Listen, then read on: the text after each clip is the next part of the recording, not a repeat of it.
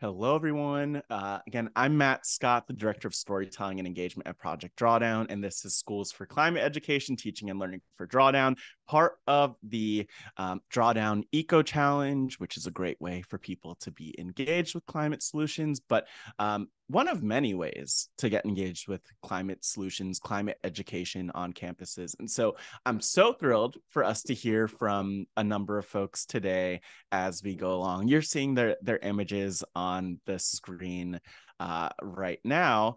But I actually want to invite everyone, um, all the participants, because uh, we'll give them a chance to introduce them in a second to uh, share their video uh, because we're gonna we're gonna give um, Amoy, Erica, Laura, Sarah, and Steve a chance to introduce themselves. But again, this is part of the Drawdown Eco Challenge, which you could learn more about drawdown.ecochallenge.org.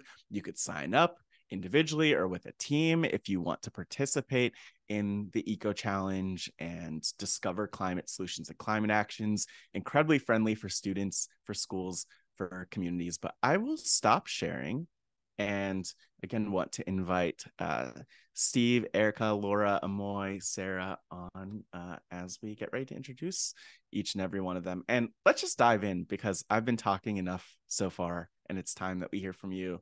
Um, but first and foremost, I want to invite the one and only uh, Amoy Walker, experiential learning specialist at the Galloway School. Learn more about the Galloway School at gallowayschool.org um, to to share and actually answer our first question, which is yeah. who are who are you and like in short, why do you do the work that you do, Amoy? So, as Matt mentioned, my name is Amoy Walker, and I'm the experiential learning specialist here at the Galloway School. We're a small independent day school in Atlanta. And my role is to help teachers and be a co laborer in learning by doing. So, a teacher brings an idea to me, and then we workshop it together because teaching can be sometimes isolating. And so, my role on campus is to be that co laborer, that co partner with teachers to like make sure that the students are getting a really enriching inquiry-based project-based learning experience here at the Galloway School. And I love doing this work because, you know, this impacts us in our daily lives. Um, and for us in Atlanta, flooding is a big issue for us. And so it's just like looking at the real world ways that climate impacts our lives here in our city. That's powerful. And even just the term co-laborer, like is so um, powerful and i think it's a good reminder of like the power of students the power of young people that um, it's not just a one way interaction of sharing information, but it's really a collaboration too, which is powerful. And kind of moving through the um, moving up, I'd say, in terms of the different grade levels, I want to introduce the one and only, or really invite the one and only Sarah Duffer, Earth and Environmental teacher at Asheville High School, um, to introduce herself. And I'll drop the link to Asheville High School in the chat. But again, who are you and why is it that you do the work that you do in short, Sarah? My name is Sarah Duffer. I'm a veteran educator at Asheville High School in, in the beautiful mountains of uh, Western North Carolina. And I've been teaching earth and environmental science on three levels standard, honors, and advanced placement for almost 20 years. Drawdown changed my life. I was given a copy of the book by a student, and and um, once I realized what it was and the potential it brings and the inspiration it brings, it changed my life both personally and professionally. And then when I got the email about the Drawdown Eco Challenge in the spring of 2018, I thought, oh, finally, this is a way for me to really actively engage the Drawdown solutions with my students. And so we just dove into it and we were the winners of that first inaugural drawdown eco challenge. Um, and it was a whirlwind story. I won't get into it now um, but i will say that i think we're all craving solutions and to know concrete actions that we can take uh, to be part of the solution. And that is why i love drawdown and especially the drawdown eco challenge. Thank you for having me Wow, what an honor. Uh, and yeah, it's always awesome to hear when people are utilizing Project Drawdown, Drawdown resources. But I want to shift over to someone who is less than 100 miles away from you, also in North Carolina, um, Lauren, Laura Erin England, who is, among many other things, practitioner in residence with the Department of Sustainable Development at Appalachian State University. Please share who you are um, and uh, just your story in short of why you do the work that you do, Laura. Thank you, Matt. It's really an honor to be here. I'm a huge fan, like Sarah, of Project Drawdown. So we'll always say yes to anything related to Project Drawdown's work. And it's an honor to be in conversation with all of these amazing educators today. So, as Matt said, I teach in the Department of Sustainable Development at Appalachian State University, um, where I've been for 14 years this academic year, half of my position now is dedicated to a campus wide climate literacy initiative that um, I'm sure I'll get a chance to talk about a little bit more later. In terms of um, why I do the work that I do, I'm, I'm a bit unusual as a faculty member in that I came to the classroom via first the nonprofit sector, where I worked as an outreach professional.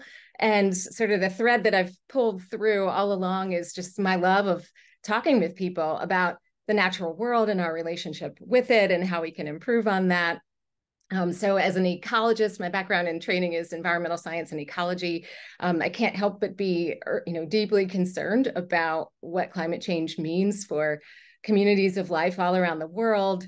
Um, I'm also a parent of, of two wonderful kids, and um, I want to do all that I can to ensure that um, the world they grow into and the world that all of today's kids are growing into is one that is safe and healthy and full of possibilities for them.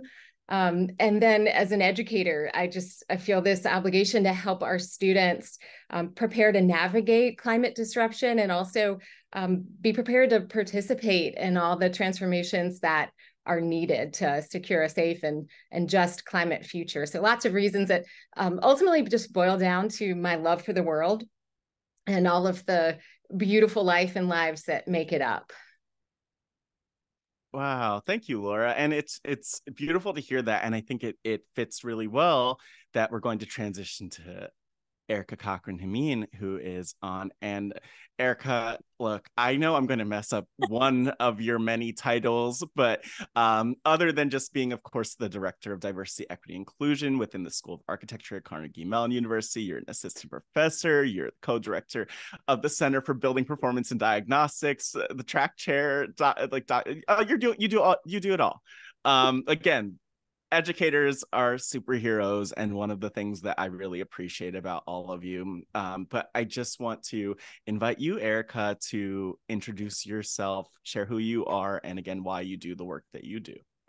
Sure thank thank you so much matt and thank you to my fellow panelists. It is a pleasure and an honor to be here with all of you and you know like everyone else if matt's asked something i'm going to say yes because matt is just so awesome um, so you know, like I said, I'm I'm on the faculty at Carnegie Mellon, and I do what I do because I, I love architecture. I always wanted to build. When I was a little kid, I was building with Legos, like the typical architecture story.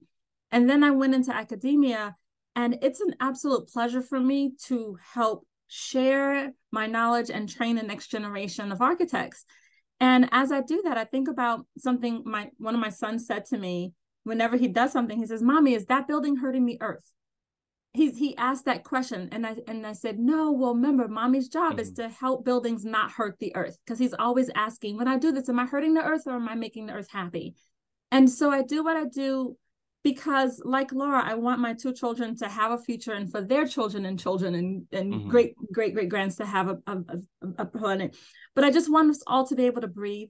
I want us all to have happy places that we can live and learn and work and play and do it while being healthy, while being productive and to work together with with amazing talented smart people so that we can help our future and do things so that we don't hurt the earth. Wow. Thank you so much. Um, and for being here and for uh, responding to my calls or my call, so to speak, for this. Uh, but also, um, I, I have to mention that not only Erica, are you someone who I met, who we met at Project Drawdown through our Drawdowns Neighborhood Initiative, a climate solution short documentary series, which I will I'll drop the link to Drawdown's neighbor in the chat here, drawdown.org slash neighborhood. But also that um, our last panelist who we want to introduce, last but not least, of course, there's no least here. I'm maybe I'm the least, um, but it's Steve Place who is joining us. And Steve, um, well, we met Steve um, in his role exclusively with the Kendeda Building, uh, uh, Kendeda Building for Innovative Sustainable Design, uh, but also Steve is the uh, campus sustainability project manager at uh, Georgia Tech. And so, Steve, uh, do you just want to introduce yourself and why you do the work you do? Sure. Uh, so I uh, I'm at heart a gardener, and I love having being in the dirt and getting dirty and and and creating things. Uh, I work alongside uh, the educators here, and my my role is a little different in the sense that I work a lot with students, but it's it's more hands-on stuff that like things that they've perhaps not done. Uh, we do ivy pulls here on campus. We have community gardens, uh, and uh, you know we're actively pursuing bird watching, uh, all kinds of things that perhaps are a little outside of the uh, normal lives of these highly technical students. You know, they're very theoretical and they're they're very much often in the classroom, but to get them outside and to working with their hands and, and trying uh, some experimental stuff and, and knowing that, you know, the, the garden creates a, uh, an environment that's free of judgment and in fact encourages uh, that exploration and uh, curiosity. So, you know, me, I, I'm I'm very very fortunate. I'm I'm surrounded by awesome students. I get to do awesome work, and um, I'm always learning. So I mean, you know, what could be better? Wow, that's powerful, and I like that you start to kind of touch on some of the work that you do, um, and it kind of brings me to a, a question that I want to kind of pose for for all of you um, Steve, you started to talk a bit about some of like those experiential components of climate solutions and how you're integrating that um, with students and their learning. Um, also, I will say that in your drawdowns neighborhood interview, I think you do such a beautiful job of just talking about like the mental health benefits and other benefits that are a little bit less tangible than what we might think about when we think of climate solutions or gardening and the like. But I want to put out the question, maybe starting with Amoy I'm putting you on the spot.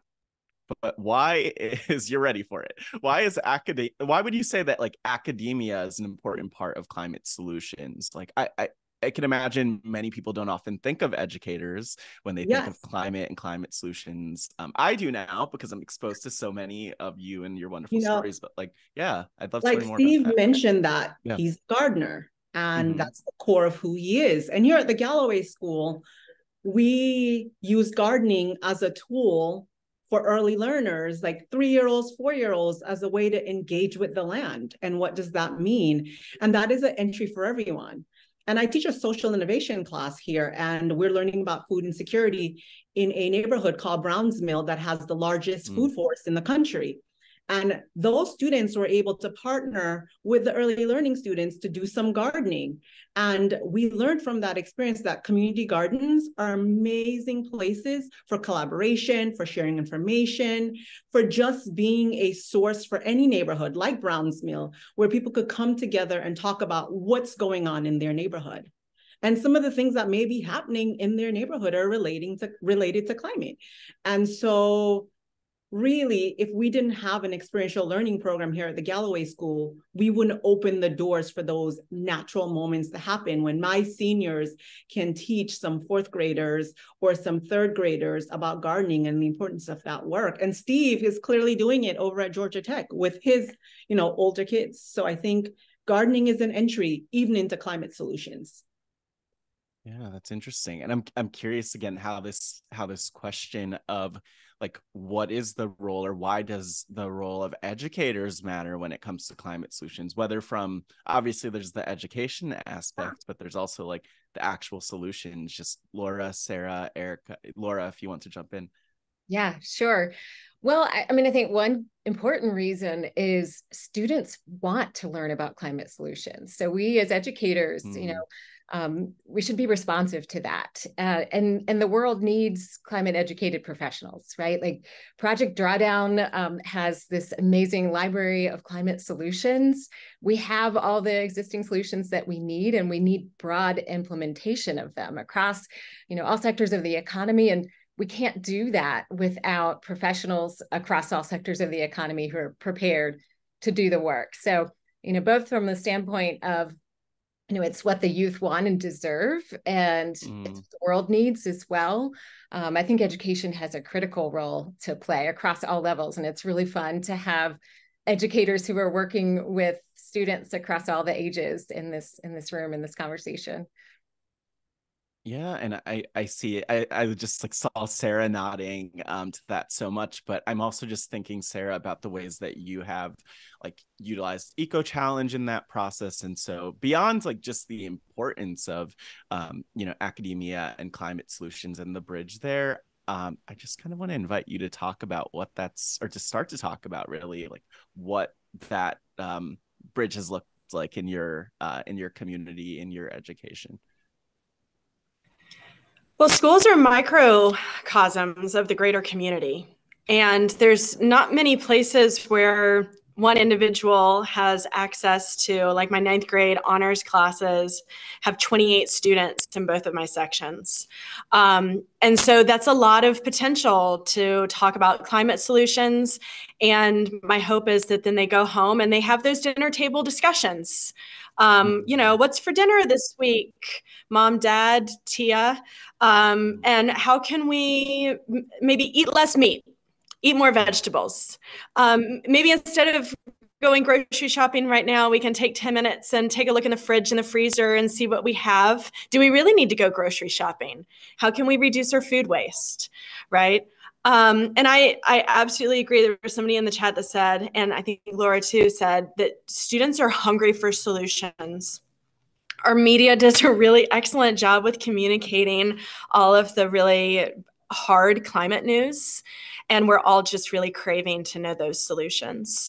So, when it comes to the Eco Challenge, um, I have my students um, do a month long uh, essentially their own self study where they choose daily eco challenges, as many as they want. And then they track their progress on the eco challenge platform. They take pictures of their progress. So if they've if they're reducing their food waste, then they may take pictures of food waste or what they've composted or a clean plate. Um, and then in the classroom, we focus on one time solutions, and those are mostly researching. So I have 14 lessons that um, I created over time, and I'm happy to share those with folks. Um, I'll put my email in the chat, and you can reach out to me.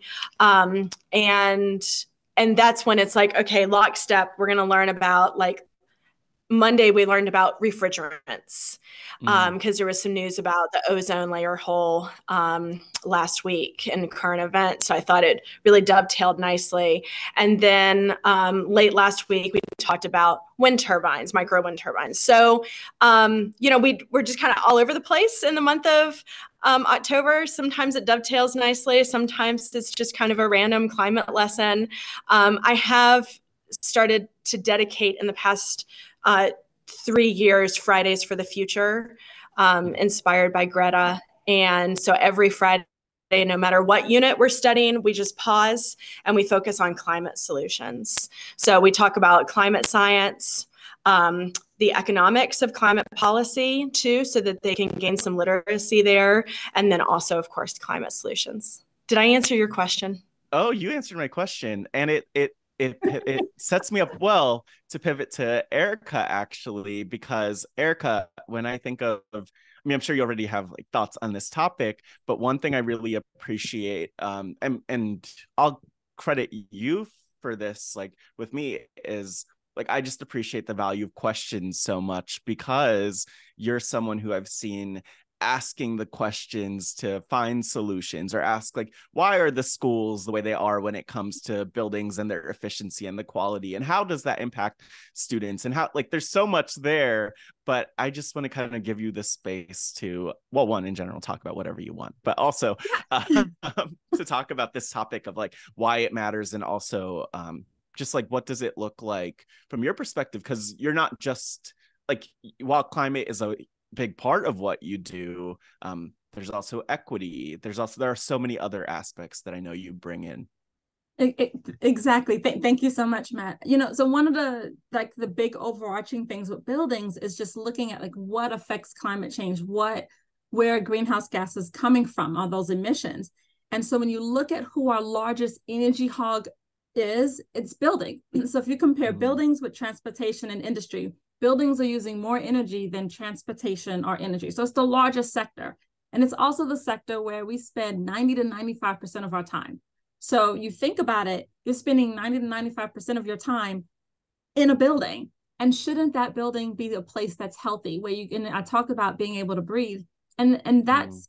stems in with some a lot of the the equity work I do because they go together. Because when you think about people from disadvantaged or disenfranchised demographics. Sometimes they're in neighborhoods that don't have access to clean air. They're next to the highways. They're in buildings with windows that don't open or old um, heating and cooling systems where the ventilation system is just subpar. And so you look at those conditions. And so not only are they using a ton of energy, but then you have people who are already disadvantaged, disenfranchised, in situations where they're literally in spaces that are making them sicker already, giving them even more um, pre-existing health conditions, hurting themselves so that they have these pre-existing health conditions.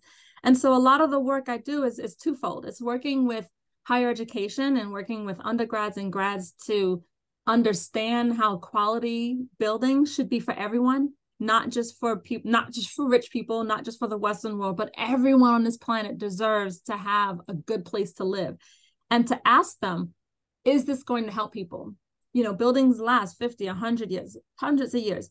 When you're gone is that building that you've put people in helping them? And do they feel happy about the space that they're in? And one of the fun things that i do which really i i, I just find super exciting is I work with my students and we go and do energy and environmental assessments of public buildings. So going into like inner city classrooms and going to places where they maybe can't afford to have a ton of engineers or architects running around and doing all the scientific um, mm-hmm. investigations. Mm. My students are doing it and they're providing these reports to them for free. And so then students are seeing how the work they can do in college can actually help someone and make a difference directly. And then there's even another benefit, which is that the kids in those schools are seeing people who are not just a little bit older than them helping out. And it's making them say, Whoa, I could go to college. I could be an architect. I could be an mm-hmm. engineer. I could do that. And so just those levels, um, I think that just helps with equity in terms of age, in terms of um, sex, in terms of nationality, demographics, all things together. Just keeping all of those things and working with the K through 12 and the higher education and saying how can we all work together so that we can provide better quality buildings so we can live and sleep and breathe fresh air. Oh my gosh, that was electrifying. Um, but I will also say, uh, no, no climate solutions, pun intended there, actually. But it was, yeah. Thank you for sharing that, and it makes me really think about just the fact that, um, even to the point of what you mentioned, Erica, and what we've kind of touched on that students and young people do have power not just to learn and be recipients of information and knowledge or to even work on small projects but like to actually make an impact with the contributions. And what you said eric actually made me think of when i was in in school but especially when i was in college and one of the best things that i had was just being involved in these different student organizations where I learned through these experiences of like also adding value and also making an impact in the community. But you know, this actually all of this brings me in a different direction.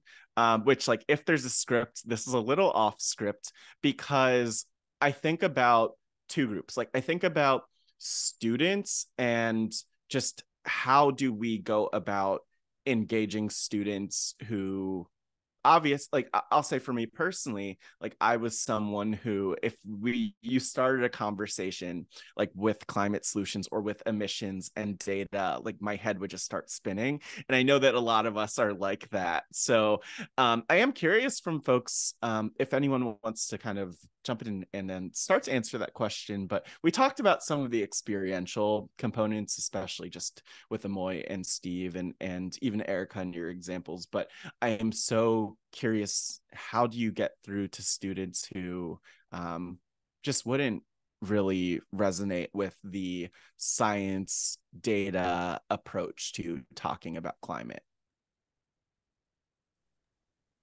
I, I, I oh, can. Oh, Erica. Yeah, oh, go for, go. I see all oh, everyone's coming off of mute, by the way, to jump in. So maybe Erica, oh. and then like Laura, and then Sarah. Yeah. And um, one of the things I do, and Matt, you touched on this, is this whole learning by doing. I mm. think you have to combine book learning with like experiential learning, and experiential learning. When you put that in, that's the thing that they remember. And so when we go in with all our scientific ex- equipment, we also have to make it in a way so that they can understand it. And so, like, we'll have a carbon monoxide detector. And the best way for people to understand um, carbon dioxide is to give it to someone and say, okay, we're going to measure carbon dioxide. And if you hand it to a student, say, like, go over there and like just breathe heavy real quick on mm. that. And then they see the sensor move. And now they're like, whoa, now you can explain. Guess what? We exhale, you know, carbon dioxide, we breathe in oxygen. That tree is doing the verse. We need that tree you can say it one way, but if a student goes and like breathes on the sensor and they see the sensor move, now they get it. When you then we say, okay, here's the light meter. And they go over and you stand under a light and then you go into a dark shadow and they see that change. It means something. So I love to just let the students hold the sensors and loan it to them and give them a chance to run around their buildings, run around the school, and see the different spaces. So then they'll run to the science room, they'll run to the gym, they'll go to the pool and they'll say, like, wow, you know what? The gym TVOC levels were high. What's going on? It's like, well, what are the cleaning products that they're using? Mm. And then, you know, that's even led some school groups to demand different cleaning products because they saw that spike go up. so I think one of the best things is to just put it in their hands put the technology, all the fancy technology that we use, just put it in the hands of young people and let them see it for themselves and then talk to them and say, what can you do to make a difference? And even if it's just the recycling program or switching the cleaning products, and then they see, they go back a month later and the sensor reads different. Now they know they made a difference and mm. they learned something and they'll remember that. yeah, before even like uh, before we bounce over to Laura, and I'm seeing lots of clap reactions not only on video but in the chat too um, and if anyone wants to react by the way with the emojis yes keep yes the clapping the hearts all of it. I'm also just say before i keep going that um, you could still add questions to the q&a and we'll get to those uh, in a couple minutes but uh, yeah laura i'm curious from your perspective uh, what just how if there well one um any reactions to what erica said but also if there are other ways that you work to engage students who don't you know resonate with this automatically yeah Erica, I so love what you're doing as a fellow science educator. You're just amazing. Thank you for that. Um, you know, I, I, teach the science, but I have this craving to engage with the stories as well. And so, um, one thing that's been really meaningful and rewarding on our campus that we started back in 2017 um, was this collaborative campus wide initiative to really engage more with the arts, the humanities, the storytelling side of um, of climate communication. Again, sort of recognizing uh, what you said, Matt, that um, the science isn't, you know, effective for everyone. Mm. Um, and so we started this initiative called the Climate Stories Collaborative. And I'll put the link in the chat eventually. Um, we put a call out for interested faculty, and within a year, we had like 25 people. Um, three years in, we had like 75 or 80 faculty members from like 25 different academic programs. And all of these faculty were um, working with their students in their own classes on assignments that are creative communication of climate stories. so each class, each faculty member um, got to decide, like, you know, do I want my student to work in this particular creative medium, or are, do they get to choose their own creative medium? And uh, you know, we had hundreds of students create um, climate stories projects in all kinds of different visual art media, performing arts media and, and showcased at the end of the year. Um, the works that the work that students were doing to engage with specific stories of you know how communities around the world are being affected by climate change and how communities around the world are responding with action to climate change. And and the students were telling um, those stories in paintings and drawings and multimedia sculpture and um, they wrote and performed plays and poetry and music.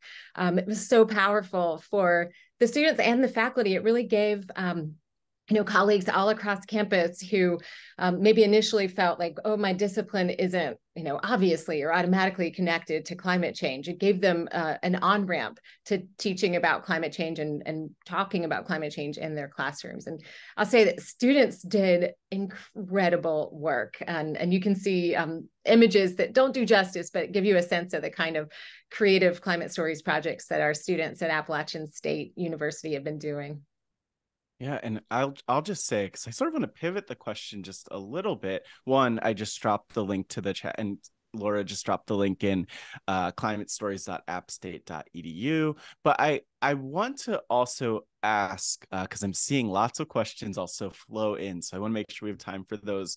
Um, and I'm looking at you, Sarah, because I know that you were ready to um, and talk about ways of engaging students who eh, just beyond those who already want to show up and are excited by this. So I'm curious about that, but I'm also curious about like advice you have for teachers um, regardless of their discipline you know I, there was a question in the chat here um, from someone who might be or someone who asks about like how do you incorporate climate into sports and art classes? and it makes me think about like the multidisciplinary nature of climate but i'm curious um, not only of just how you engage students who might not gravitate to this um, immediately but also if there's any advice you have for educators because um, climate could feel like a really intimidating topic, especially depending on where you are, where then there's a political component at times. And it's just like you don't want to do the wrong thing or say the wrong thing. But um, yeah, I just want to give you the space to to share, Sarah.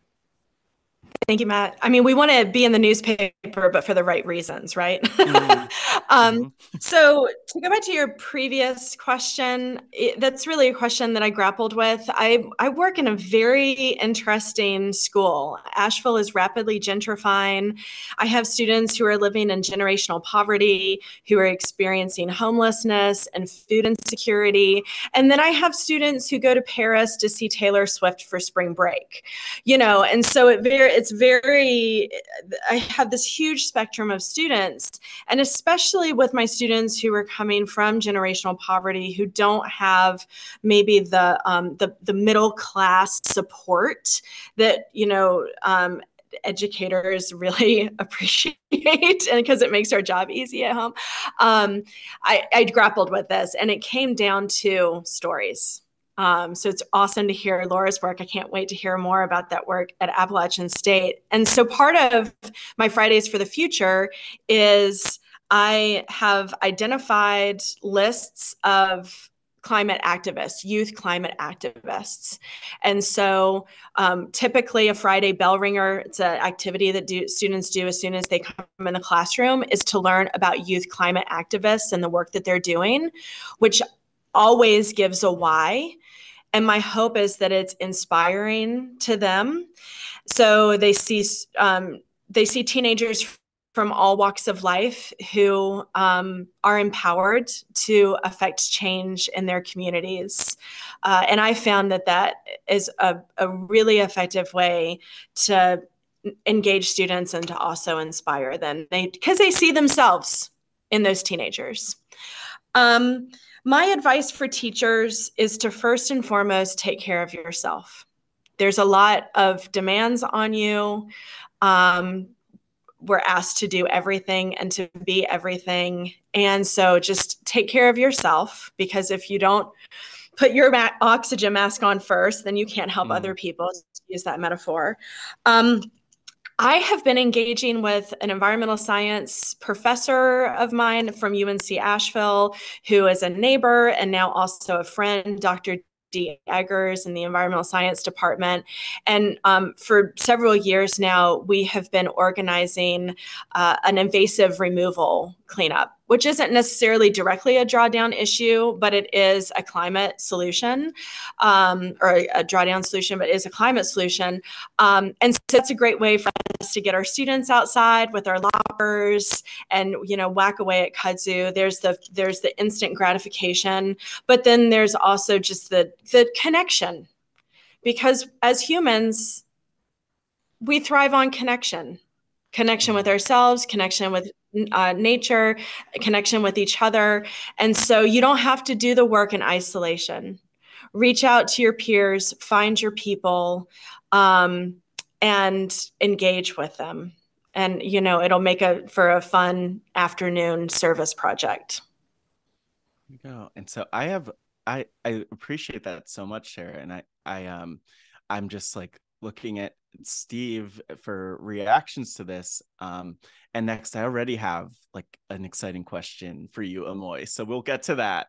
But um, but yeah, I, Steve, I just want to hear any um, reactions. And, and, I I think of you know the Kendeda building. I know that lots of different uh, lots of different subjects teach within the building, so there's already like this ability to learn about um, about sustainability by just being in this space. But curious for you, especially when it comes to um, I think you've talked a little bit about engaging students, uh, but you know, any advice for teacher or for educators, um, eh, you know, who are trying to figure out how to enter these conversations and bring them, connect them with their students.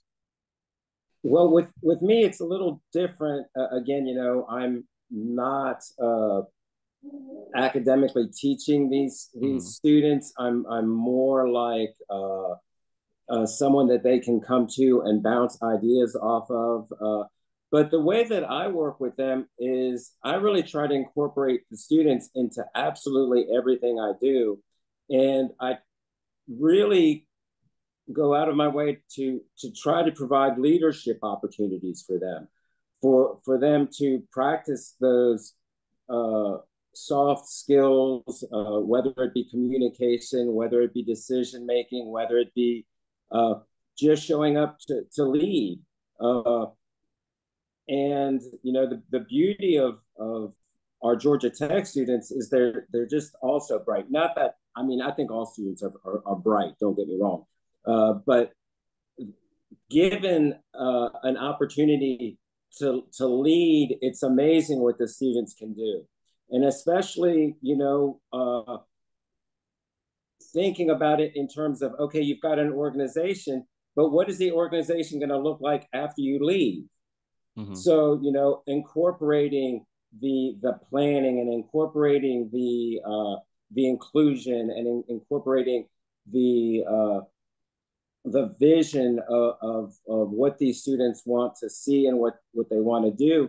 Uh, we provide, or I, I try to provide a, a lot of different kinds of opportunities. Uh, you know, if they want to meet somebody, if they want to see something, if they want to uh, try something a little different. Uh, you know, we had uh, an opportunity two years ago, three years ago, when we did a cover crop uh, of our rooftop garden, and I let the students decide and it it worked great. It was awesome. And you know it was something that we were able to point to and say okay this was a student driven decision and this is how it worked.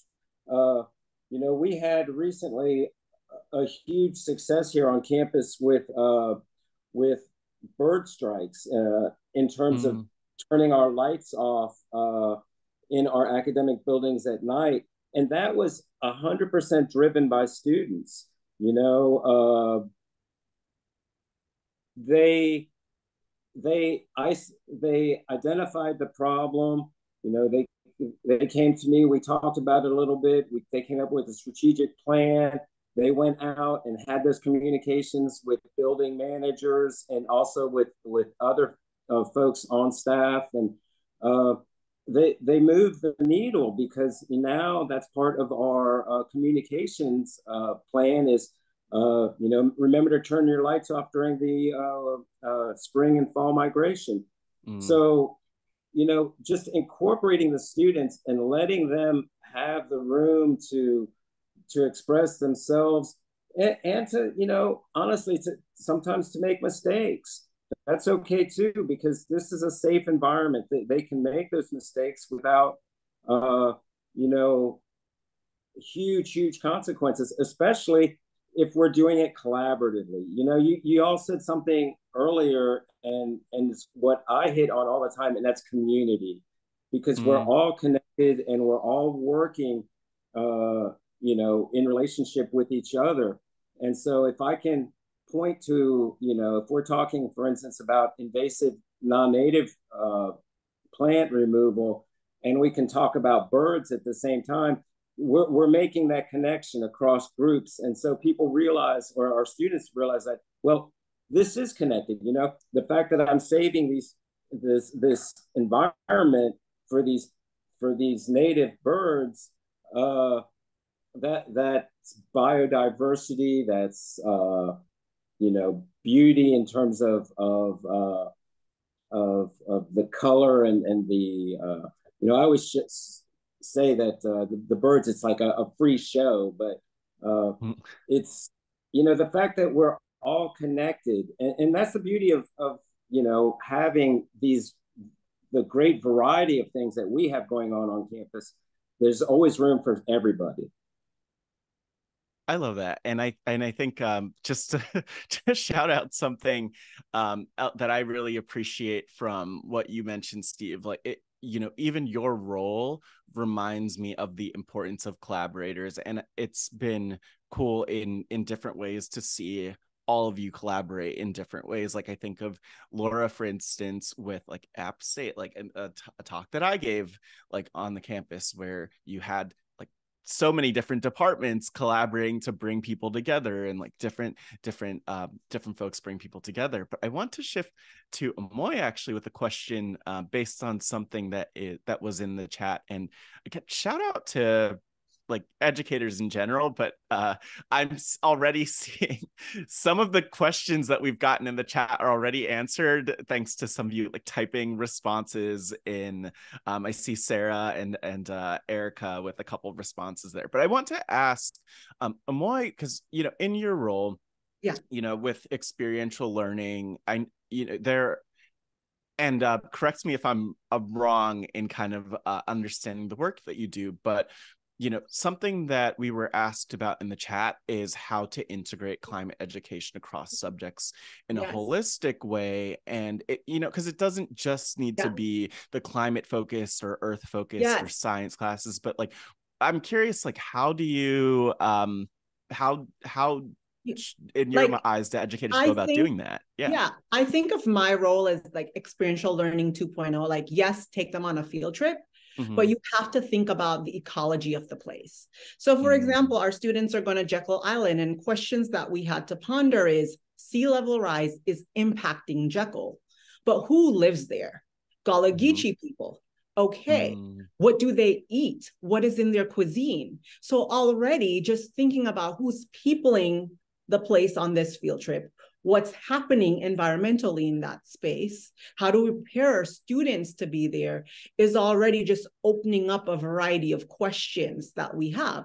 And so I just think of like, no, I'm not just going to take my kids somewhere, but who's there? What are we going to see? What's happening there? And just coming up with a toolkit of questions in whatever you do.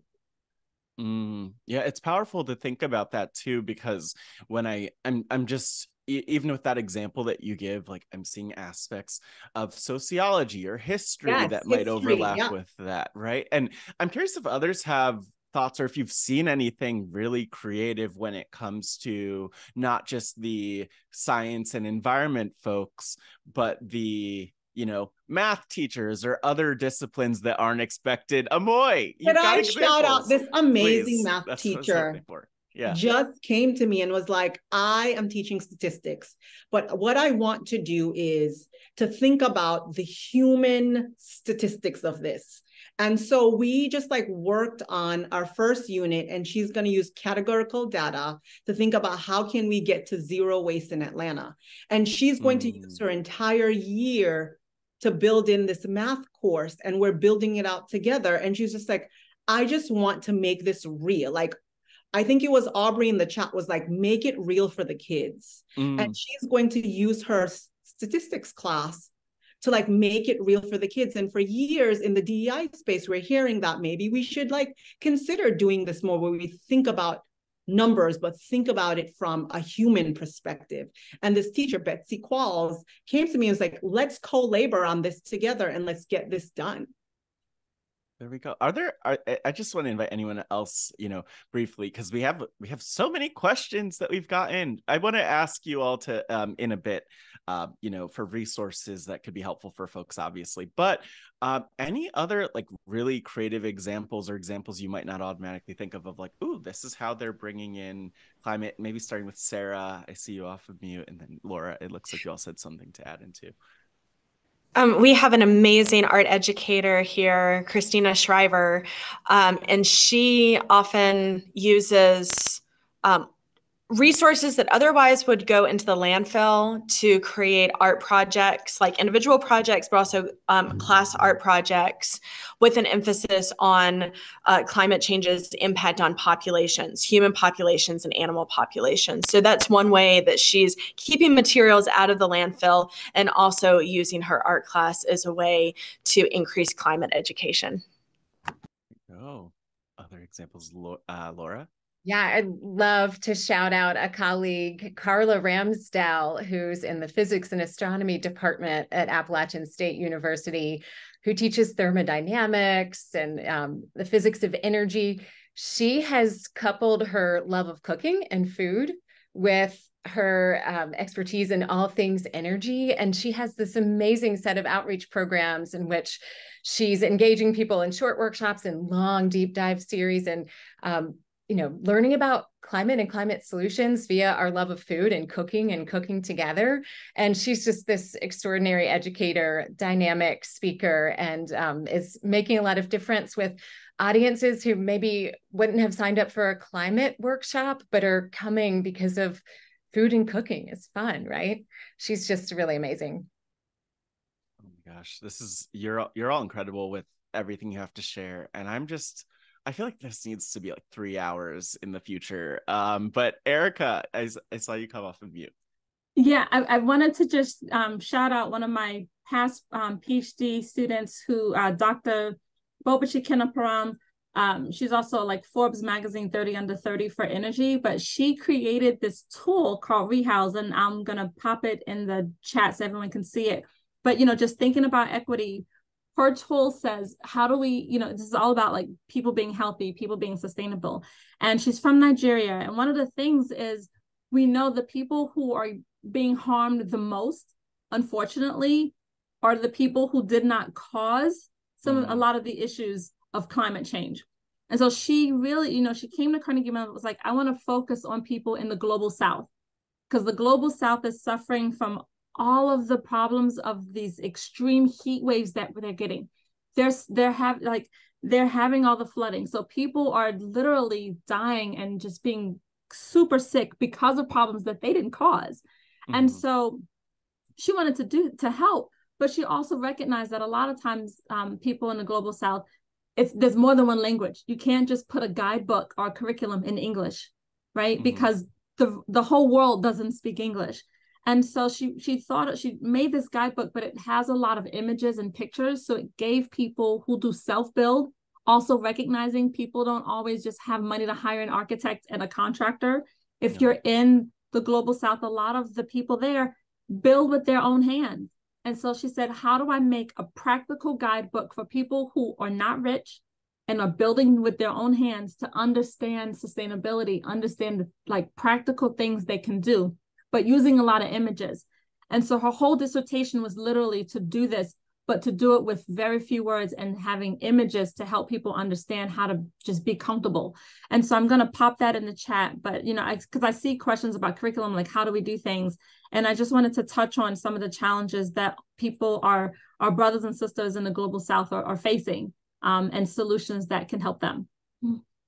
Yeah, you know, one thing I want to, um, you know, kind of pivot to a bit, just looking at our time, is tangible resources that you might all recommend whether it's like actual resources you would recommend viewers or the audience here checks out or even just approaches to find those resources. Because like one question i saw that i thought was interesting which you know i think about a lot or get a lot is like how do we find stories of youth and others working on climate solutions in communities which obviously like in the case of pittsburgh and you erica and drawdown's neighborhood there in atlanta like you know that's something that we really focus on is finding those stories um and you know googling and connecting with folks who know the communities for some of the best you know to find folks who are doing the work. But um, i'm curious from you all just in general when it comes to this topic of of you know education are there any resources that you would want to point other educators to or just advice you would have for them on how to figure out where to get started because it's very clear people are looking for you know the curricula and and um, other things that they could use within their within their work right the climate it's a it's clean it's a clean network it's the mm. climate literacy and energy you know it's education something network um, right. they have a whole lot of resources and you can filter by grade level and content area um, so that's a way just uh, to click and um, you know find lessons that have been vetted by other educators um, and then a local um, activist with the Citizens Climate Lobby reached out to me and shared the Vlogbrothers video um, on how to fix the climate. And from there, Oh, no, there I created a nine part climate science, um, climate policy, um, and then climate solutions also. Um, but clean is a clean is a great network and I'm happy to share all of my curriculum too. And I keep putting my email in the chat. So reach out to me if you if you want it. And please, please share it once you have it. yeah. And I also just dropped in the link for clean uh, clean or uh, clean it's C L E A N E T dot org is is the site for folks. And yeah, I've heard about of Clean too. Other resources that um you'd put out there or just advice for folks, uh, Amoy? I know I love the EPA website and all of their projects because one, it's so accessible, it's so quick, and it's so affordable. And when I need to like do a quick project and simulate sea level rise or something like that, they always have like a good bite-sized project with really you know materials that i can find in my environment. And nasa also has some really good programs mm. and projects and i like using that because they are just like use what you have in your space and get this done. So those are my two go-to's when i'm looking for something quick. Laura well, of course, Project Drawdown has a lot of amazing resources. So, um, everyone on the webinar, please go check those out. But in terms of higher education, one that, that we've tried out across our campus at Appalachian State is a hybrid course developed by the University of California system called Bending the Curve.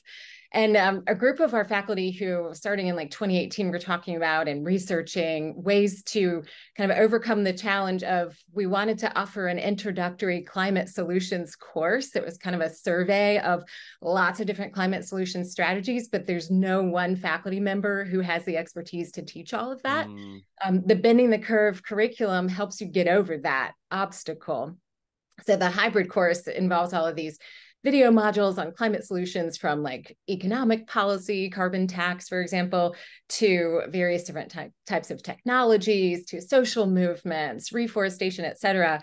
Um, and we've offered that out of something like um, 18 different academic programs where the faculty members mm-hmm. get to like sort of tailor the in-class conversation towards their own um, discipline. So, you know, from the we're, we're about to have some sections taught in the finance um, banking and insurance department mm. um, the english department anthropology biology sustainable development sustainable technology interdisciplinary interdisciplinary studies and more um, so bending the curve is a really great starting point a platform for teaching an intro course that's about all of the different climate solution strategies out there. And of course, we've we've brought in project drawdown materials um, to supplement that as well. So bending the curve.